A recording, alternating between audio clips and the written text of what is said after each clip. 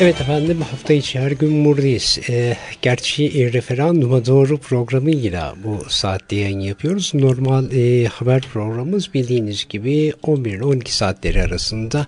Referanduma doğru programın bugünkü konu e, Hüdaparvan İyi Başkanı Sayın e, Rasim Saygın efendim. Rasim Saygın'la neyi konuşacağız? Referandumu konuşacağız. Rasim Bey hoş geldiniz. Hoş bulduk. Teşekkür ederim. Ee, nasılsınız? Nasıl gidiyor? Bir yoğunluk? Hamdolsun. Yoğunluk var. Var Yoğunluk değil var. Çalışmalar hızlı bir şekilde gidiyor. Hmm. Şimdi e, tabii referandumu şöyle böldüler. Evetçiler diye böldüler, hayırcılar diye böldüler. Aslında referandum üzerinden çok da tartışılmıyor. Evetçiler, hayırcılar üzerinden gidiyor. Siz de evet diyenlerdensiniz. İlkeleriniz var, kriterleriniz var. Daha önce açıklamıştınız ama bunu bir de radyodan duysak. Hüdapar neden evet diyor. Evet. Nedenleri konuşursak daha doğru olur diye düşünüyorum. Bismillahirrahmanirrahim. Ee, şimdi bizim Hüdapar olarak parti kuruluşumuzdan bu yana programımızda e, öngördüğümüz, programımızda e, yer verdiğimiz Evet. temel hususlardan bir tanesi e, anayasanın bir bütün olarak değiştirilmesi talebidir. Söz konusu Evet. anayasanın e, Türkiye'nin ihtiyaçlarına cevap vermediği, e, dilinin sıkıntılı olduğu, vurgulamalarının yanlış olduğu, e, Türkçü bir söylem üzerine kurulduğu, ulus devlet üzerine kurgulandığı, Evet efendim. e, ve e, inançlar noktasında e, halkın inançlarını yansıtmadığını, bizim kendi milli ve yerli bir anayasa yansıtmadığını e, belirttik ve bu yönde de yapılacak olan çalışmaların muhakkak bir şekilde değiştirilmesi gerektiğini e, söyledik. Başından beri bizim e, talebimiz bu Evet. ve söz konusu anayasa ile ilgili olarak da yapılması gereken e, değişiklikler, değişikliklerle Türkiye'nin özellikle vesayetçi bir e, e, denetimden kurtulacağı, e, darbeci darbeyi öngören bir anayasadan kurtulacağı bu umutla e, bizler sürekli olarak anayasada yani 82 anayasasının değiştirilmesi noktasında bir girişim ve çaba içerisinde olduk. Sürekli Evet. olarak e, talebimiz, hükümete yönelik talebimiz bu oldu. Halka gittiğimizde halka en büyük taleplerimizden bir tanesi bu oldu.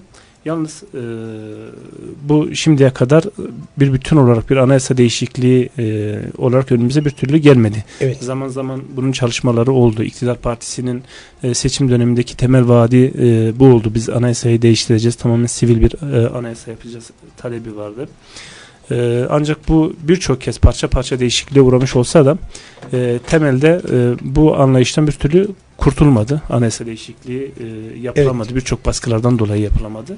Haliyle e, bizler e, karar alırken şunu söyledik. Dedik ki e, madem söz konusu değişiklik bizim istediğimiz değişiklik e, talebini tam karşılamazsa da bir bütün olarak bu anayasanın değiştirilmesi e, şu an için mevcut şartlar e, içerisinde mümkün olmasa da yapılan bu e, değişiklik e, bir hükümet değişikliğidir. Evet. Güç- daha güçlü bir e, hükümet ortaya çıkacaktır ve anayasayı değiştirilebilecek güçte bu kararı verirse eğer bu irade sahip olursa sonraki seçim dönemlerinde anayasanın değiştirilebilecek bir güçte bir hükümet olabilir. Dolayısıyla bu bizim bir e, beklentimiz e, şeklinde cereyan etti. İkinci olarak da anayasa mevcut 82 anayasa hakikaten kendisini e, zırhlarla bü- bürümüş. İlk dört maddeden e, başlayıp da işte birçok e, kurumlar, e, hükümet etme kurumları, Cumhurbaşkanı Meclis birbirlerini frenlemeleri bir türlü bir değişiklik yapma noktasında bir izin vermiyor.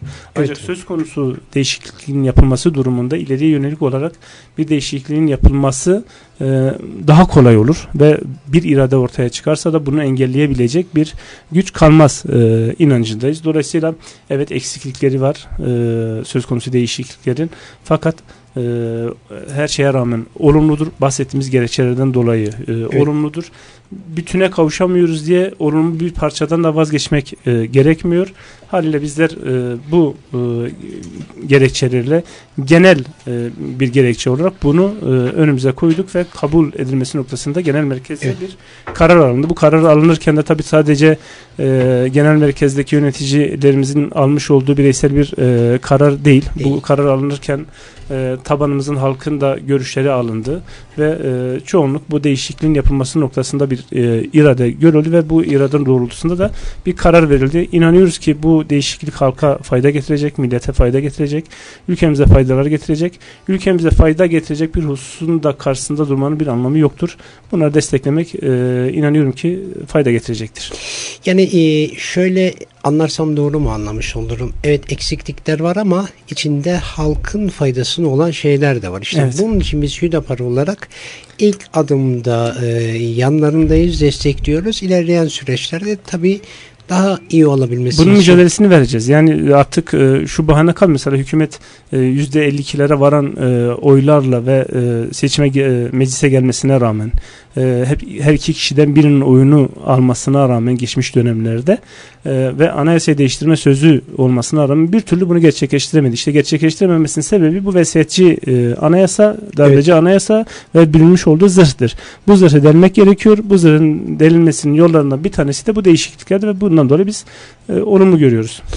Evet, e, olumlu görüyorsunuz. Şimdi e, aslında hükümet burada diyor ki güçlü hükümetle artık içimizdeki problemler halledilecek. Hastalıklı yapılardan kurtulacağız. Yani FETÖ'den kurtulacağız, ondan bundan kurtulacağız. Evet. Aslında bu aynı zamanda bu o halkın, e, bu topluluğun geleceğinin de e, bir nevi biraz daha rahatlatıcı anlamına gelmiyor mu? Ee, umuyoruz. Yani e, gelecek süreçte e, yapılacak olan çalışmalar yani dediğimiz gibi bu sadece bir hükümet e, etme evet. modeliyle ilgili bir e, değişikliktir hükümetin elinde olan bu e, yetkiyi nasıl kullanacağı ise bu hükümetin ortaya koyacağı tavra bağlıdır. Eğer mücadelesini doğru bir siyasi anlayışla yaparsa e, dediğiniz şekilde olur. Yani onu da tabii e, oy verenler mutlaka onu da takip edecekler. Takip etmek. Diğer siyasi partilerle beraber de e, bunun e, mücadelesini vermek lazım. Yani evet e, bu e, işte anayasa değişikliği oldu bundan sonrası için e, her şey bitti anlamında değil. E, hakikaten daha e, sarf etmemiz gereken, geçmemiz gereken çok uzunca bir yol var.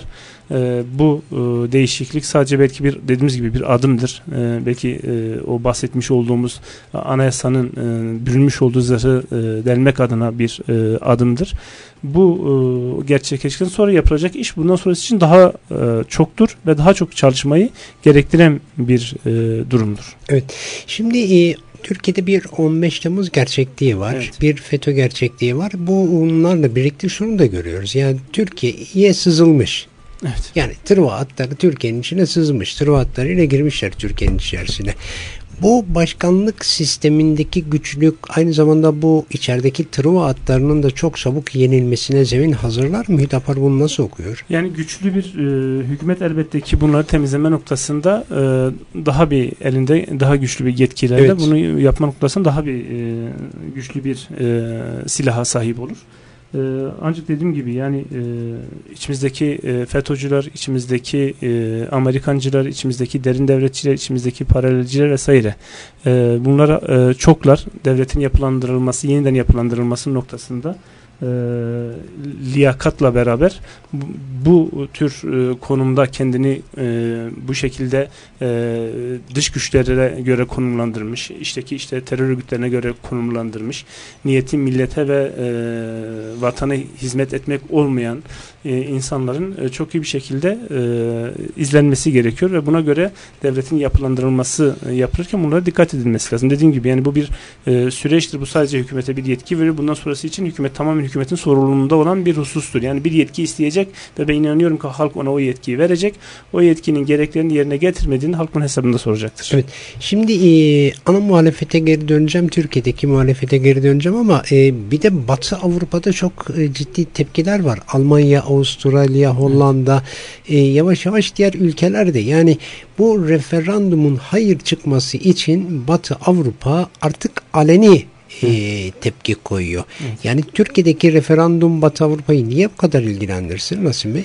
Şimdi bu Türkiye'nin kuruluş e, serüveniyle beraber o, okunursa e, bunun neden yapıldığına e, çok rahat ulaşılabilir. Evet. Yani Türkiye Cumhuriyeti Devleti e, kurulduğunda bir Kurtuluş Savaşı verildi. Bu Kurtuluş Savaşı sürecinden sonrasında gelişen bir e, zafer. Bu zaferin neticesinde yapılan bir e, Lozan Anlaşması evet. ve neticesinde gelişen oraylar. Yani e, tamamen e, Batı'nın, e, İngiltere'nin, Avrupa'nın istemiş olduğu e, adımların atıldığını görüyoruz. Yani işte hilaf hilafetin kaldırılması, birçok e, alimin e, asılması, medreselerin kapatılması, Kur'an kurslarının kapatılması, e, camilerin e, ahırlara çevrilmesi, birçoğunun kapatılması, dinin kontrol altına alınması, Türkçülük vurgusu, e, inançların e, tamamen işte e, insanın içine hapsedilmeye çalışılması, camilere sığdırılmaya çalışılması e, bakıldığında bu süreçte e, Türkiye bunlara uyduğu müddetçe bunlara uyduğu müddetçe yani Batı'nın önüne koymuş olduğu programa uygun hareket ettiği müddetçe Batı Türkiye'nin yanında yer almış. Hmm. Ve üstemi, istemiş olduğu bir takım e, talepleri de önüne hedef olarak koymuştur ve Türkiye sürekli bu hedeflere doğru e, zorlamıştır. Bu hedefler doğrultusunda çalışan, bu hedeflerin evet. e, ulaşma noktasında kendi dış politikasını değil yani Avrupa'nın öngörmüş olduğu, Amerika'nın öngörmüş olduğu dış politikayla e, aynı zamanda hareket ettiği zaman bakıyorsunuz ki işte Amerika ile Avrupa ile ilişkileri iyi, e, bir müdahale yok, e, işler e, yolunda gidiyor gibi gözüküyor ama ne zaman ki Türkiye e, kendi ayakları üzerinde dur, durmaya başladı, ne zaman ki Türkiye kendi halkının e, talepleri doğrultusunda yol almaya evet. başladı, inançlarını gerçekleştirme noktasında yol almaya başladı, inançların özgürlüklerin önündeki engelleri kaldırma noktasında e, yol göstermeye e, almaya başladı. E, Avrupa, Batı bakıyorsunuz hemen buna karşı bir diklenme, buna karşı işte Avrupa Birliği resti, buna karşı işte NATO evet. resti e, sürekli bir tehditle Türkiye'yi bir yerlere bir konuma çekmeye çalışıyorlar ve evet. güçlü bir Türkiye, kendi iradesiyle hareket eden Türkiye, kendi e, iç politikasını, dış politikasını oluşturan, kendi halkıyla barışık, e, komşularıyla barışık, e, ümmet e, coğrafyası, coğrafyasıyla barışık bir Türkiye e, az önce bahsetmiş olduğum tarihsel serüvenden ötürü işlerine gelmiyor. Haliyle bu süreçte bakıyorsunuz dönemsel olarak Türkiye işte Avrupa'nın e, Amerika'nın e, politikasına uyduğu zaman hemen Amerika ile ilişkiler e, bakıyorsunuz düzelmiş bir anda düzelmiş. Fakat e, ne zaman ki bunun dışında bir takım adımlar atmaya kalkıyor hemen karşısında e, birçok oyunlar e, sahneleniyor. 15 Temmuz'un arkasında yatan gerçek de budur. Yani e, artık Avrupa'nın kontrolünden çıkmış, Amerika'nın kontrolünden çıkmış, kendi iradesini ortaya koymaya e, koyan bir Türkiye, kendi halkının talepleriyle hareket eden bir Türkiye, kendi içerisindeki o bahsettiğim bahsetmiş olduğum e, vesayet kurumları, denetim kurumlarını e, işte e, darbeci bir takım yapıları yok yok etmeye çalışan bir Türkiye ve bunun üstüne de Türkiye'nin içine yerleştirilmiş e, bu e, terör örgütlerini e, yok eden, e, bunlarla mücadele eden, bunlar devletin o paralel yapılanma dediğimiz hususu devletin yapısından çıkarmaya çalışan bir Türkiye Avrupa'yı yerinden zıplattı, Amerika'yı yerinden zıplattı, NATO'yu yerinden zıplattı haliyle bu noktada yapılacak tek şey kalmıştı onlar açısından Mısır benzeri bir darbe. Evet evet. bu şekilde iktidarı al aşağı edip kendi kontrollerinde bir e, ülke e, yönetimi oluşturmaktı. Bunu yapamadıkları için Türkiye'nin e, bugün e, işte bu evet e, çalışmaları, bu yeni anayasa çalışmaları evet. Türkiye'yi e, ben artık kendi ayaklarımın üstünde durdum, arkamda da güçlü bir hak desteğim var dediği zaman bundan sonrası içerisinde Avrupa'nın, Amerika'nın karşısında daha güçlü bir Türkiye göreceklerinden dolayı, daha doğrusu bunu istemediklerinden dolayı evet. çok güçlü olarak artık daha önce gizliden yapmış oldukları şeyleri açıktan yapmaya başladılar. Açıktan düşmanlık yapmaya başladılar. E, bunun altında yatan gerçek budur. Şimdi e, yapılan yorumlarda e, hükümet kanadı ve daha duyarlıların yaptığı yorumlarda şu deniyor. Yani e, bu Batı Avrupa'nın bu kadar taraf olması şunun da ispatıdır. Başkanlık sistemi güçlü bir Türkiye oluşturacağından bunların esaretinden kurtuluşu da kolay olacaktır. O zaman bu mantık ve yorum doğru. Doğru. Yani dediğim gibi yani e, bu daha güçlü bir Türkiye, e, kendi ayakları üstünde durma iradesini ortaya koyan bir Türkiye, e, kendi praganda, prangalarından kurtulmaya çalışan bir Türkiye e, Avrupa'yı endişelendiriyor. Evet. Biz inanıyoruz ki Türkiye'nin ayağındaki en büyük pranga 82 Anayasası'dır. Bundan kurtulursa, kendi iradesini ortaya koyabilirse prangalarından kurtulmuş olacaktır. Avrupa'da bunu istemiyor zaten.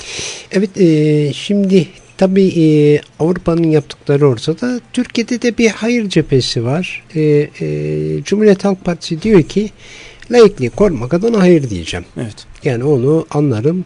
Saadet Partisi e, ülkenin geleceği adına hayır diyeceğim diyor. Evet. O, tabii Doğu Perinçekler grubu var, Ulusalcılar var, e, grubu var, var ki var. Birçok grup var, kitle var.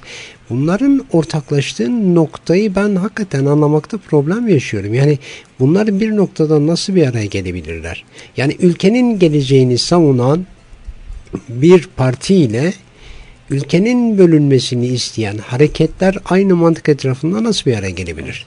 Tabii e, Saadet Partisi farklı bir durum. Yani e, kendi gerekçelerini e, tabanına çok iyi anlatması lazım. Yani neden böyle e, bir karar alındı? E, kendi tabanını e, ikna eder etmez o kendilerine bırakıyorum. Fakat evet. e, almış oldukları kararda e, partisel olarak almış oldukları bir karardır. E, bu kararda biz e, saygı diyoruz. Fakat e, diğerleri açısından e, bizim e, e, yani temel endişelerine bakıldığında bizim yıllarca mücadelesini verdiğimiz e, getirmeye çalıştığımız, düzeltmeye çalıştığımız şeylerin karşısında durdukları için e, bunlar e, daha çok hayır e, diyorlar evet. e, ve e, kendilerine göre birçok gerekçeler oluşturuyor. İşte kimisi işte laiklik, kimisi işte e, farklı e, gerekçeler, rejim değişikliği gerekçesi, yok demokrasi gidiyor gerekçesi vesaire. E, bizim e, şunu söylüyoruz. Yani hem evet e, diyenler açısından hem hayır diyenler açısından farklı farklı gerekçeleri olabilirler. Farklı farklı hususları savunabilirler. Evet. E, bu savunmalar e, yapılırken e, hiçbir zaman e, bu noktada duruyoruz biz özellikle. Birilerini işte hayır diyor. Şundan dolayı işte e, terörist oldukları için, e, teröristleri beraber hareket ettikleri için, yok ülkeyi bölmek istedikleri için, yok Avrupa'ya ülkeyi e, peşkeş çekmek istedikleri için hayır diyorlar e, demeyi, bu gerekçelerle ortaya çıkmayı e, çok doğru bulmuyoruz. Yani evet. e, saygı duyulması gerekiyor. E, en nihayetinde e, yüzde 50'nin üzerinde bir e, evet çıkıp bu e, referandum e, olumlu sonuçlansa dahi e, yarın biz yine e, bir arada yaşayacağız. E, birlikte e, birçok işi e, yapacağız, evet. yapmamız gerekecek. Dolayısıyla hayır diyenin de evet diyenin de kendi e, mecralarında yapmış olduğu çalışmalarda karşı tarafa saygı e, üzerine bir çalışma e, yapması gerekiyor. Ülkeyi kutuplaştırıcı bir e, dilden özellikle e, uzak e, durmamız gerekiyor. Çünkü mecliste bunun örneklerini gördük. Mecliste yapılan e, çalışmalar esnasında milletvekilleri hakikaten çok e, dehşet kutuplaştırıcı bir tavır sergilediler. Kavgalar, dövüşlere geçen bir referandum e, değişiklik süreci oldu mecliste. Aynı şey halk içerisinde yaşanmaması gerekiyor. Bizim temelde e, vurguladığımız şey birlik bütünlüğümüzdür.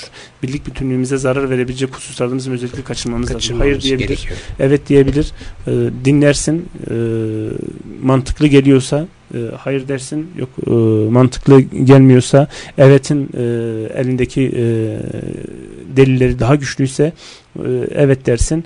E, bunu yaparken de e, dediğim gibi birilerini kutuplaştırıcı, birilerini ötekileştirici bir dil ve söylemden özellikle kaçınmak gerekiyor. Bizim söylediğimiz şey budur. Yani herkesin gerekçesi vardır. Bu gerekçelerin bir kısmına bizler de katılıyoruz, bir kısmına katılmıyoruz.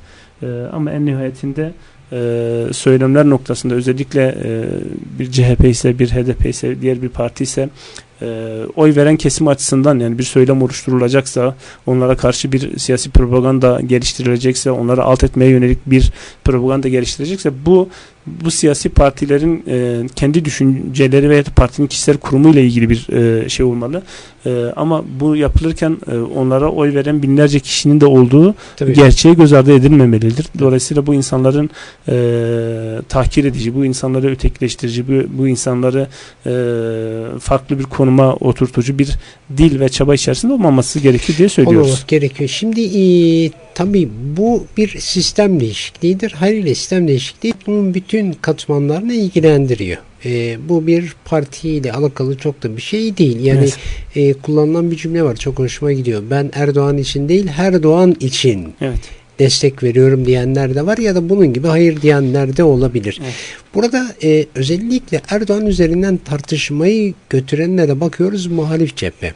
Evet. Bir, şu dil kullanıyor, diktatör olacak. İki, şu dil kullanıyor, ikisini de aynı cephe kullanıyor. Evet. Peki Erdoğan yarın ölürse?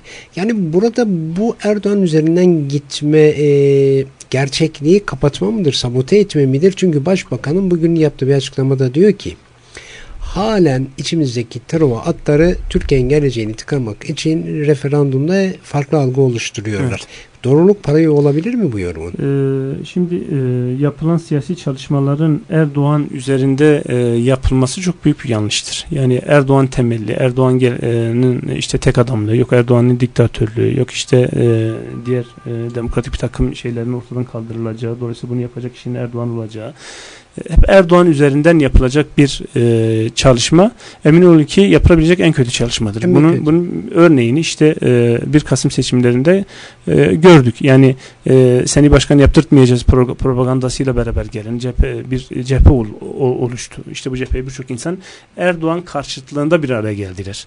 E, ama ne oldu? Kaybettiler. E, ciddi bir e, şeyle oranla kay- kaybettiler. E, haliyle bunu kaybettireceğini şu seçim sürecinde e, geçen e, CHP e, Genel Başkanı da bu şekilde e, söyledi. Biz hani çalışmalarımızı e, Erdoğan e, üzerinden yürütmeyeceğiz diye. Evet. Çünkü e, gerçekten de dediğiniz gibi yani e, bu mesele Erdoğan'ın meselesi değildir. Erdoğan'ın e, 2019 seçimlerine kadar yaşayıp yaşamayacağı e, belli, Belli değil. değil. Hatta referanduma kadar yaşayıp kimsenin belli değil. Biz bir, bir sonraki nefesi alıp al, al- almayacağımız belli değil. E, haliyle yapılacak olan e, çalışma e, o e, propaganda yani s- getirilen değişiklik üzerinde bir propaganda olmalı. Yani ben bunun hayır denilmesini e, istiyorum. İşte şu madde şunu getiriyor bundan dolayı. Şu madde şunu getiriyor bundan dolayı. Diğeri şunu getiriyor bundan dolayı ben hayır diyorum deyip gerekçelerini ortaya koymaları gerekir. Fakat Evet. bakıldığında yani basın yayında tartışıldığında yani e, madde madde maddeler üzerinden bunun getirdikleri götürdükleri üzerinden maalesef bir e, propaganda yapılamadığını görmekteyiz. Yani e, işte tek adamlık geliyor diye deniliyor. Bunun neden böyle olduğuyla ilgili olarak maddeler üzerinde bir konuşma olmuyor. Veyahut da işte e, rejim gidiyor e, deniliyor. Bu rejim üzerine hangi Evet. madde rejimi götürüyor? E, şu madde şöyle şöyle düzenlenmiş. Bu maddenin şu e, kelimesi, şu cümlesi işte bir tehdittir. Bundan dolayı biz hayır diyoruz. Yani bu yönlü e, tartışmalar maalesef çok sağlıklı bir şekilde e, yürümüyor. Bu yürümediği için de tartışmalar sağlıklı bir ortamda e, gitmiyor. E, halkta tam bir e, acaba bu değişiklik nedir? Yani açıp bakmadıkları müddetçe ne Evet. getiriyor ne götürüyor? Bu noktada tam bir anlatım e, yok. Haliyle e, siyasi partilerin e, bu noktada e, madde madde üzerinde halka gidip biz bu maddeyle şunu ön- öngörüyoruz, şu değişiklik olacak. Önceki buydu. Bunun şu şu şu sakıncaları vardı. Dolayısıyla biz bu madde üzerinde bu sakıncaları giderdik e, ve e, bu maddeyi bu şekilde değiştirdik şeklinde bir e, açıklama e, yapmaları gerekiyor. İçimizdeki truva atları meselesine gelince bu her zaman olacaktır. Yani e, bunu e, sürekli bir şekilde e, yüzde yüz e, bir e, konuma oturtmak hiçbir zaman mümkün olmayacaktır. Bu, bu anayasa değişikliğinden sonra da olsa devam edecektir. Şu Evet. anda da var devam edecektir. Dolayısıyla dikkatli olmak e, gerekiyor. Yani hem kendi e, çevrenle ilgili, danışmanlarla ilgili, yarın öbür gün Cumhurbaşkanlığı yardımcılarıyla ilgili yapılacak olan düzenlemelerde, e, seçimlerde buna çok dikkat etmek gerekiyor. Yani halkın taleplerini yansıtan, halkın değerleriyle hareket hareket eden, e, halkın menfaatini önceleyen e, bir e, kadro yapısı oluşturmak e, gerekiyor. E, bu, bunun içinde e, dediğim gibi çok iyi okumak gerekiyor. Bir takım siyasi hesaplarla hareket etmemek gerekiyor. E, dil noktasında kullanılacak dil noktasında çok dikkatli olmak gerekiyor. E, özellikle vurgulamalar açısından e, e, son dönemde e, AK Parti açısından belki e, propaganda e, olarak e, yürüttüğü süreçte en büyük dezavantaj da bu. E, yani çok milliyetçi bir çizgiye doğru e, kayıyor MHP ile beraber. MHP ile beraber hareket etmesinden dolayı belki. E, bu tür e, tehlikelere dikkat çekiyoruz. E, yani çalışmaların bunlara e, e, çalışma yaparken bunlara dikkat edilmesi lazım. Yarın buna göre bir referandum yapılanma oluşturulduğunda da yine aynı endişelerle e, bu e, kurumları oluşturmak gerekiyor. Evet yani e, giderken AK Parti'ye de dikkat etmeli diyorsunuz. Sedat diyor ki neden evet denmesi gerektiğini en mantıklı şekilde anlattığınız için teşekkürler Rasim Bey. Size de iyi yayınlar Salih abi demiş. Çok teşekkür ediyorum. Evet herkesin sunduğu bir gerekçe var. Ee, Tabii burada dilin yumuşasılmasını aslında çok mantıklı buluyorum ben. Evet. Cumhuriyet Halk Partisi Genel Başkan Yardımcısını e, özür dilerim. E, Kemal Kılıçdaroğlu'nun baş danışmanı Aytu Atış'ı konuk aldığımda ona da söyledim. Yani dilin yumuşaması, siyaset dilinin daha edepli bir hale gelmesi. E, bu her ne kadar taktik olsa dahi, öyle bir iddia olsa dahi bu ilerleyen süreçlerdeki propagandaya da etki eder mi? Yani yumuşatır mı dili artık? Yani e, meclis serüveni doğrusu bizde ciddi bir endişe oluşturmuştu. Fakat meclisten sonra yapılan açıklamalara bakıldığında biraz daha e, doğru bir dil kullanmaya doğru yol aldığını görüyoruz. Bu evet. CHP açısından da geçerli. E, AK Parti açısından da geçerli. Yani AK Parti'nin de ilk dönemlerdeki soru dili sorunlu bir dildi. E, CHP'nin de öyleydi. Fakat son süreçte bu tehlikeyi gördüler. Yani biz başından beri bu uyarıyı yapıyorduk zaten bu tehlikeyi gördükleri için e, açıklamaları biraz daha e, doğru zemine doğru gidiyor. Ama yine zaman zaman gerek Sayın Cumhurbaşkanı'nın dilinden gerek e, CHP e, liderinin dilinden bizim doğru bulmadığımız bir takım tanımlamalar yapıldığını görüyoruz. Bunu da doğru bulmuyoruz. Dolayısıyla e, eğer bir tanımlama yapılacaksa e, e, isim ver, örgütün ismi verilerek bu yapılmalı ve evet. yani direkt oy verenlerin işte tamamı şucudur tamamı bucudur şeklinde e, bir tanımlamayı biz doğru bulmuyoruz. Ama şu andaki e, gide, gidilen süreç doğruya doğru gidiliyor. Yani referanduma yaklaşıldıkça e, belki hani bu sürecin daha çok sertleşmesi beklenirken meclis çıktıktan bu yana daha bir yumuşama şeklinde bugüne kadar geldi. Umuyoruz ki bundan sonraki kalan daha da e, süreç içerisinde de dil umut olarak e, daha bir e, güzel bir dil kullanılır. Çünkü dediğimiz gibi yani e, yaftalayıcı, ötekileştirici bir dil e, hem toplumda karşılık bulmaz hem de bize zarardır. Hem de kaybettirir. Kaybettirir. Şimdi, hem hepimize kaybettirir. Evet. E, dün Kemal Kılıçdaroğlu bir, bir radyoda konuşurken e, artık gaf mı hata mı e, ciddi bir şey yapıyor. Yani hiç kimsenin savunamayacağı bir şey gelecek. Bu Cumhurbaşkanlığı sisteminde başbakanlık yok. Bugünkü modeli anlatıyor. İşte Cumhurbaşkanı ile Başbakan farklı partilerden olursa e, bu hakikaten zaaf mıdır, ilgisizlik midir, bilmemek midir? Yani bir genel ana muhalefetin genel başkanının bunu ifade etmesini sadece bir gaf deyip geçiştirmek e, mi gerekir yoksa farklı mı okumalıyız? Yani e, meclisin e, bu referandum çalışmalarından bu yana yapmış olduğu çalışmalar, işte CHP'nin e, yapmış olduğu çalışmalar, CHP Genel Başkanı yapmış olduğu söylemler, e, şimdiye kadar söylemiş olduğu söylemler ile işte dün o bahsetmiş o bahsetmiş olduğunuz programda yapmış olduğu söylemler tamamen birbirine e, ters. Yani e, hükümetin başından beri söylediği. Yani evet. bu şu andaki sistem çift başlı bir sistemdir. Cumhurbaşkanı ve Başbakanı çatışmalı bir e, hal alabileceği geçmişte bunun örneklerinin olduğunu, yeni dönemle beraber artık bunun evet. olmayacağını e, söylüyor e, AK Parti. Belki Sayın e, Genel Başkan e, yorgunluktan e, dolayı bu sözü söylemiş o, olabilir. Çünkü e, buna e, hakim değil, bunu bilmiyor. E, dolayısıyla e, bilmediğinden bunu söyledi demek çok e, doğru bir yaklaşım olmayacaktır kanaatime göre. Zira hani bugüne kadar ki birçok televizyon programında söyledikleri, yaptıkları, yapmış olduğu açıklamalar, programlar yani daha önce bunun tam aksini e, söyler vaziyetteki açıklamaları var. O günün e, belki e, dediğim gibi yani gaf dediğiniz bir cümle üzerinden bir gaf olur. Bu bayağı bir uzun bir paragraf kurup açıklama evet. yapıyor e, yorgunluğa bağlamak istiyorum doğrusu. Yorgunluğa Yoksa hani e, geçmiş e, söylemleriyle bu bilmiyordu, e, bilmediği için bunu söyledi demek çok doğru olmaz bence. Şimdi e, tabii Van'da Van özelini konuşurken birazdan yorumlar var. Onları da soracağım sizlere. Van özelinde değerlendirdiğimizde yekpare işte bir parti komple evet diyecek, bir parti komple hayır diyecek e, gibi bir gerçekliğin olmadığını görüyoruz. Evet. Mesela bugün sabah konuk aldım hmm, Sayın Naif Yaşar. E, yani Kürtler açısından hayırın çok kötü olacağını söyledi. Evet. Felaket olacağını söyledi. Artı Türkiye için de felaket olacağını söyledi. Artı Türkiye'nin yani hükümetin gitmesinin e, durumunda e, çok ciddi kayıplar yaşanacağını söyledi. Yani burada baktığımızda böyle yekpare e, evet şu parti komple hayır şu parti komple evet demek çok mantıklı gibi gözükmüyor. Sizin tespitleriniz ne? Gözükmüyor çünkü e, bizim e, özellikle e, HDP açısından e, hayır e, noktasında yoğunluk oy HDP'den HDP'nin daha önce evet. oy vermiş seçmeninden e, bekleniyor. E, tabanlar çok değişti Salih Bey. Yani e, ne HDP'nin e, tabanı e, 7 Haziran e, tabanıdır. 7 Haziran önceki tabandır.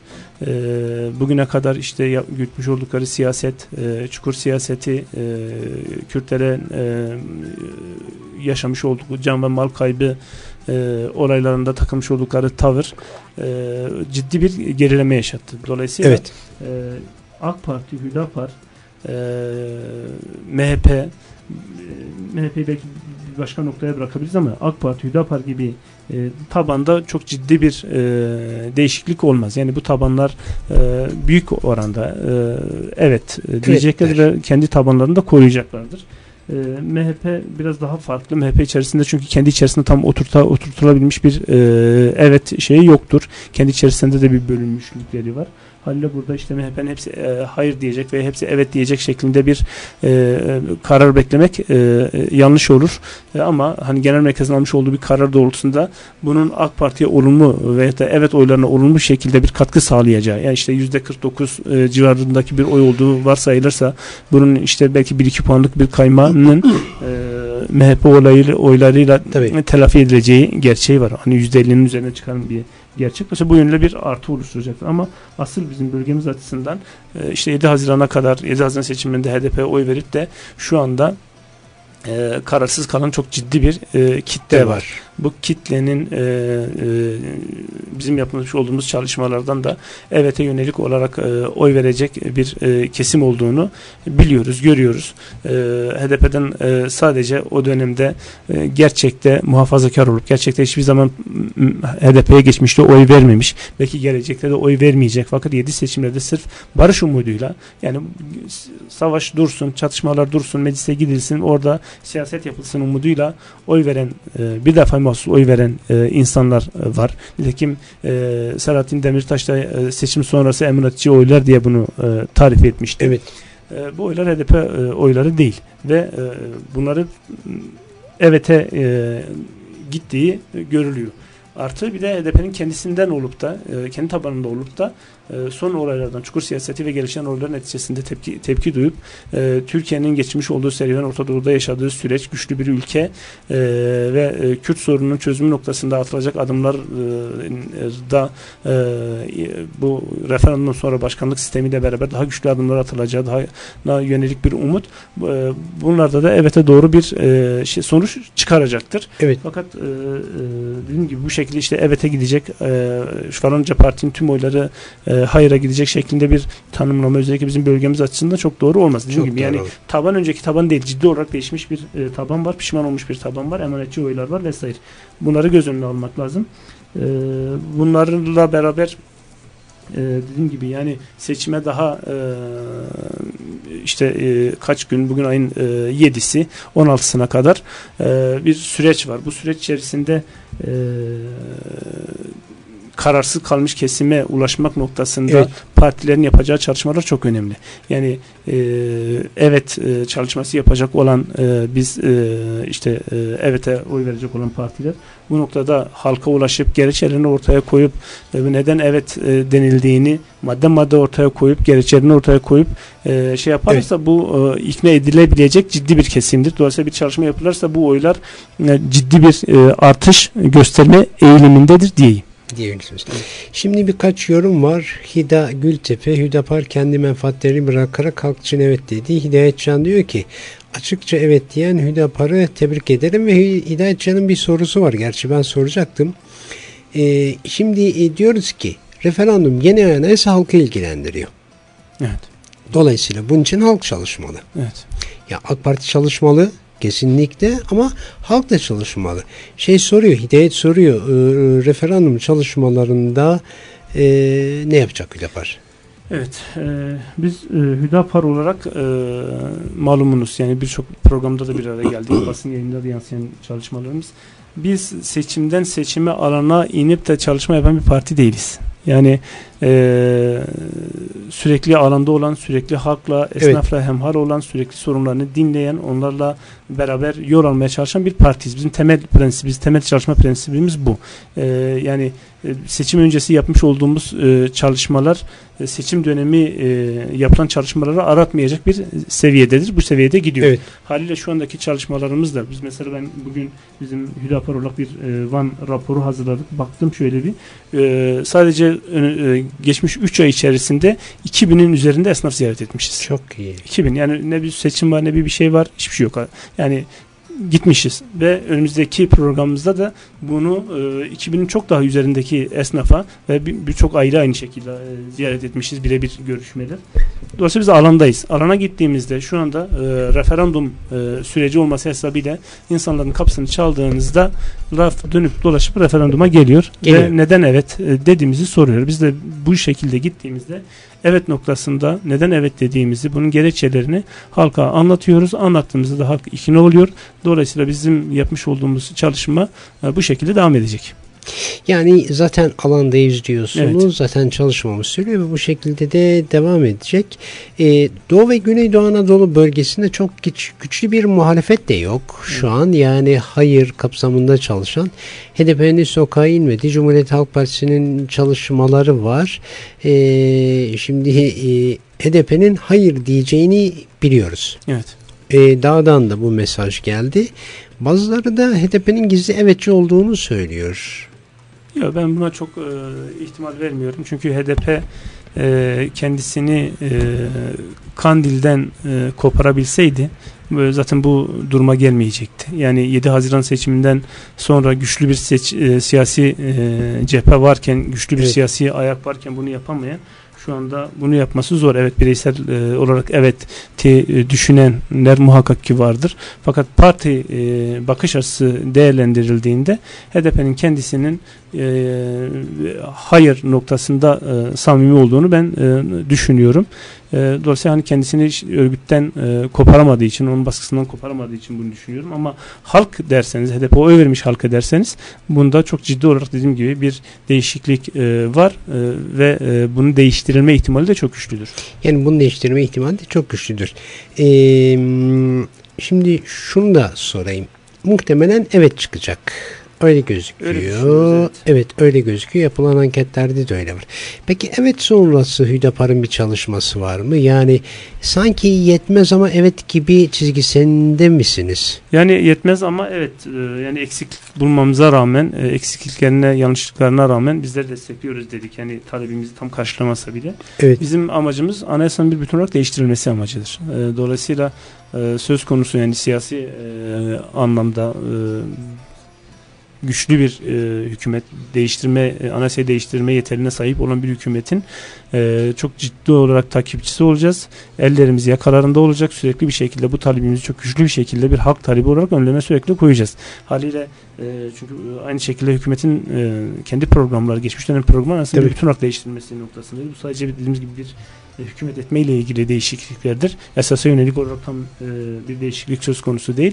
Bizim seçimden sonra yapacağımız temel çalışma bir anayasa değiştirilmesi. Anayasa değişikliği yapılırken başta e, iki temel husus var. E, yeni anayasaya vurgulanması gereken, değiştirilmesi gereken bir evet. az önce e, konuşmamın başında değinmiştim. Yerli ve milli bir anayasa. Yani kendi anayasamızı kendimiz yapacağız. İnançlarımızla, değerlerimizle, kültürümüzle barışık bir anayasa. Barışık bir anayasa. E, halkımızla barışık bir anayasa. Bir halkı ötele, ötelemeyen, diğer halkı öne çıkarmayan, e, ulusal ulusalcı olmayan, Türkçü olmayan bir e, anayasa, eşit vatandaşlık temelinde bir anayasa e, talebimiz e, devam edecek. Çok güçlü olarak devam edecek. Yani dediğimiz gibi bugün e, bir evet kampanyasına e, katılmış olmak işte e, tamamdır. Bu geçti mi e, artık her şey tamamdır e, demiyoruz. Şunu diyoruz hatta biz yani ne evet e, çıkarsa referandumda bütün sorunlarımız çözülür ne de hayır çıkarsa. çıkarsa. Yani e, sadece hükümet etmeyle ilgili bir şey. Bizim halen yürütmemiz gereken çok ciddi çalışmalar var. Değiştirmemiz gereken çok ciddi çalışmalar var. Bu sadece bir basamaktır. Bu basamağı atlattıktan sonra inanıyoruz ki elimiz daha güçlü olacaktır ve biz bunun muhalefetini çok daha güçlü bir şekilde yapacağız. Evet Rasim Bey programın sonuna doğru geliyoruz. Genel Başkanımız referandum için Van'a gelecek mi diye sormuş. Ee, gelecek mi? Genel Başkanımızın e, programı şu anda e, bize açıklanmış değil. E, evet. Açıklandığında bunu e, halkımızla paylaşırız. Ama e, programın önümüzdeki süreç içerisinde nedir, nerelere gidecek, e, çalışmaları ne olacak doğrusu henüz bize gelmiş değil. Gelmediği için de şu anda bu konuyla ilgili bir şey söylemem zor. Evet Murat Bayram diyor ki referandum sürecinde kamplaştırma tehlikesi üzerine partimizin görüş ve önerileri diyor ama konuştuk. Evet yani bunu konuştuk, bunu söyledik. Şimdi toparlayarak gidersek vaktimizi de e, bitirmek üzereyiz. Yani Hüdapar diyor ki eksiklikler var, yanlışlıklar var ama bu yeni anayasa ve Cumhurbaşkanlığı sistemi Türkiye'nin faydasını olduğu için destekliyoruz. Ee, geçtiği takdirde biz de kesinlikle bunun daha ileri bir seviyeye gitmesi için çalışacağız. Ee, son iki sorumdan biri de bu olsun. Yeni anayasa ve Cumhurbaşkanlığı sistemi parçalanmak üzere olan Orta Doğu sürecinin de e, tanımlanmasına katkı sunar mı? Tanım, tamamlanmasına mı tanımlanmasına mı? Tanımlanmasına diyeyim. Yani biraz da açayım bir sorumu. Ya evet. Orta Doğu parçalanmakla karşı karşıya. İnşallah parçalanmaz. Evet. Ee, yeni anayasa ve Cumhurbaşkanlığı sistemi Türkiye'nin yatay ve dikey genişlemesine fırsat sunar mı? Evet, e, yani e, bizim e, şunu e, biliyoruz. E, 100 yıl önce yapılmış olan bir Sykes-Picot anlaşması evet. vardı. Bu anlaşmayla e, geçici olarak e, Orta Doğu coğrafyası sınırları belirlenmiştir. Bu evet. sınırlar belirlenirken e, kalıcı olmak üzere sınırlamalar e, sınırlar çizilmedi. E, getirilen yöneticiler de kalıcı olmak üzere getirilmedi. E, yapılan e, değişiklikler, getirilen yönetimler tamamen Batı'nın, e, Avrupa'nın güdümünde olan e, evet. yapılardı. Haliyle e, bu değişiklikleri e, yapmak istiyorlar. Bizim burada e, takılmamız gereken e, çizgi Türkiye olarak tamamen ümmetçi bir duruş olması gerekmektedir. Zira evet. Orta Doğu'da gerçekleşecek olan e, parçalanmalar, gerçekleşecek olan bu kendi içinde ciddi bir çatışma da getirecektir. Belki bu kendini bir e, mezhepsel çatışmalara doğru götürecektir. E, Türkiye'nin kendini konumlandırması gereken yer liderlik vasfıdır. Ee, ve bu liderlik vasfı da ümmetçi bir çizgide olması gerekiyor, gerekir. Bütün ümmeti kucaklayan, bütün e, halkları kucaklayan bir e, liderlik vasfı e, olması gerekmektedir.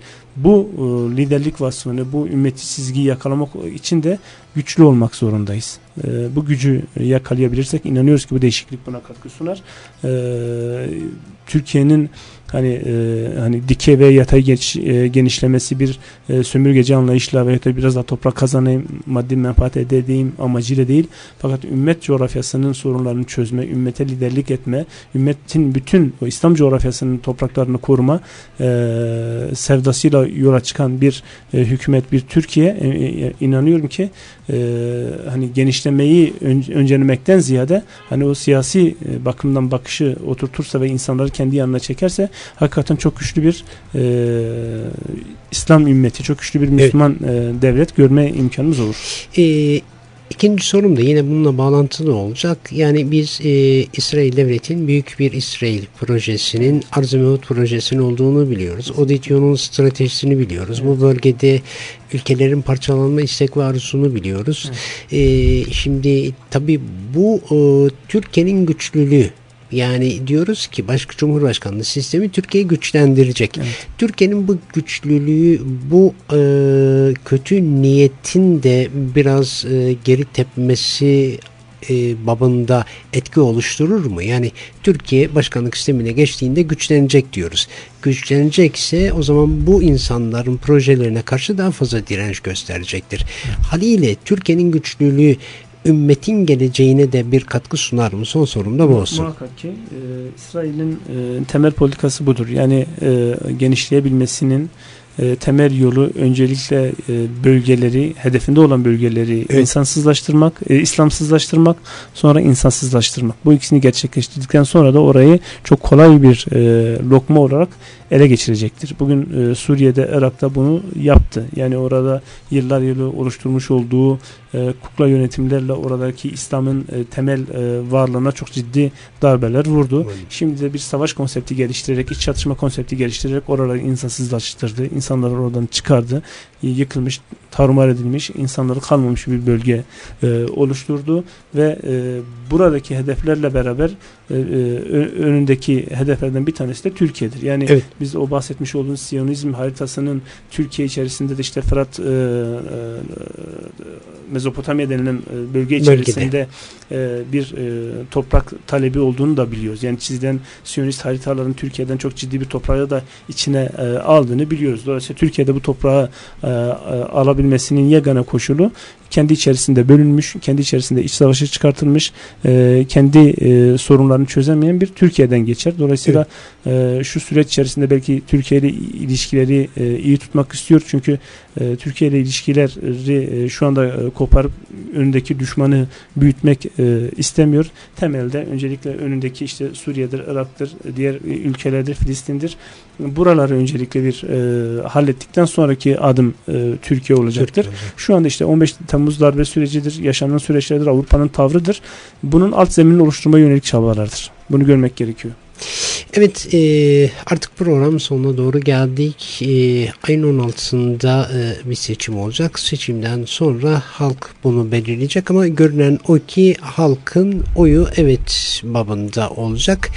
E, bunların tamamını toparladığımızda halka, siyasilere, evetçilere, hayırcılara e, birkaç e, tavsiyeyle kapatalım. Yani e, evet e, çalışması yapacak olan siyasi partilere e, işe e, garanti gözüyle yaklaşıp e, yaklaşmamalarını e, tavsiye ediyoruz. Evet. Yani e, dediğimiz gibi halen çok ciddi kararsız bir kitle var. E, evete oy vermeye ihtimali yüksek olan bir kitle var. Onlara ulaşıp e, gerekçeleri ortaya koymak e, zorundayız. Bunu e, yapmalıyız. E, dolayısıyla biz de bu e, bahsettiğim kitle içerisindeyiz. Evet e, hem hayır hem evet cephesine yönelik olarak da kullanılacak dil noktasında az önce e, değindim. Yani e, bu referandum yarın bitecek e, haliyle e, referandum bittikten sonra biz de yine bir arada e, yaşayacağız. Komşu komşu kalmaya devam edecek. E, iş yeri sahipleri bir arada kalmaya devam edecek. Biz de yüz yüze bakmaya da devam edeceğiz. Evet de desek, hayır da desek. E, bu toplumsal bağlarımızı koparmaya bir gerekçe olmamalı. Evet veya hayır. E, bağlarımızı daha güçlü yapalım. Evet e, evet diyebiliriz, hayır diyebiliriz. Gerekçeleriniz farklı olabilir. Ama bizim o e, sağduyulu e, çalışmamızı sürdürmemiz gerekiyor. Kutuplaştırıcı, kutuplaştırıcı dilden uzak olmamız gerekiyor. Bunlara çağrımız da bu. Halkımıza çağrımız ise e, yapılan bu e, değişiklik e, az önce bahsetmiş olduğum gerekçelerden dolayı olumlu bulduğumuz bir değişikliktir. Ee, inşallah e, Allah-u Teala bizim bu değişikliği hem biz hem halkımız için e, faydalı kılar. Çok teşekkür ediyorum Rasim Bey. E, Hüdapar Van İl Başkanı Rasim Saygın konumuzda efendim. Evet e, Hüdapar'ın düşüncesi, duygusu bu, aktardığı bu bilgileri bu, gerekçesi, evet deme gerekçesi bu. E, emin olun sabah bir kişi konu kalmıştım. ismini telaffuz etmeyeceğim. E, kendisi e, HDP'nin e, Yılmaz savunucularındandır dedikleri sizin dediklerinizden çok da farklı değildi. Yani dedikleri tamamen dediklerinize yakında. Görüşmek, buluşmak umudu ümidiyle yarın akşam bu saatte efendim HDP e, milletvekili Adem Geveri konuğum olacak. Adem Geveri ile konuşacağız. Bakalım onlar ne söylüyor. Hoşçakalın efendim. Hayırlı akşamlar. İyi akşamlar diliyorum. Hoşçakalın. Kadın hastalıkları ve doğum uzmanı operatör doktor Kasım Turan özel muayenehanesinde her türlü kadın